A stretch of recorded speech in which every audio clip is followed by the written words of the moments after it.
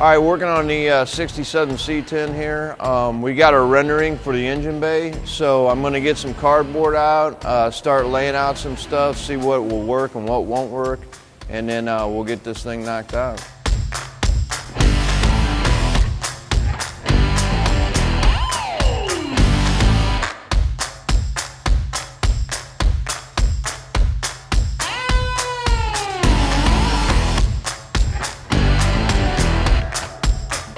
Right, first we're gonna start with the firewall. Got that all laid out, bead rolled, tacked in place. Then we gotta go to the trans tunnel. We're gonna have to make a little more clearance for our tranny. We also got a little issue with the motor sitting back as far as distributor clearance, so I'll have to make a little cut out there for that. Then we'll move on to the rest of the engine compartment.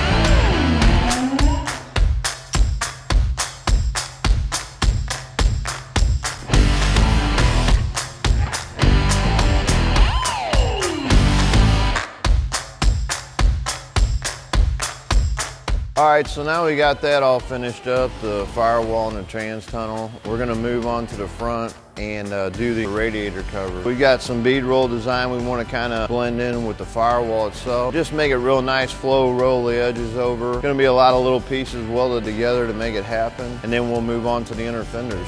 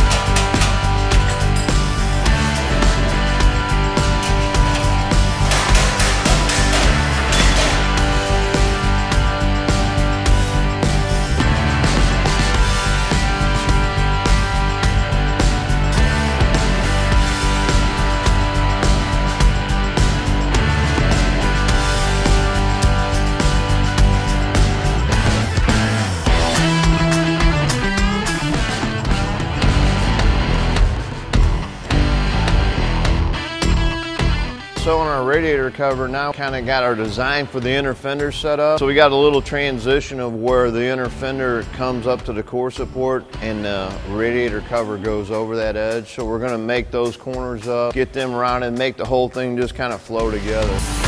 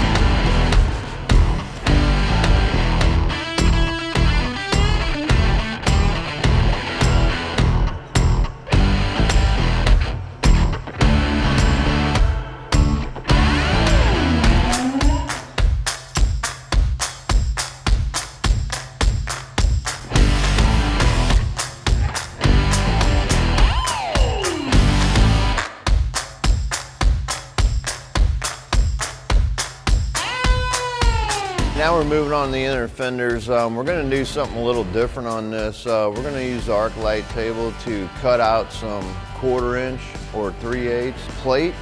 And we're going to cut out our design that we want. And then actually I'll tack that to the panel air hammer from the other side to get a, a deeper groove. Um, the reason we're doing that is because we can get a, a real symmetrical design and the depth that we want because our bead roller can only go so deep on our bead roll. We wanted something a little different on the inner fenders. We'll get that uh, hammered out, then we'll just get them shaped up and attached and uh, we'll be good to go.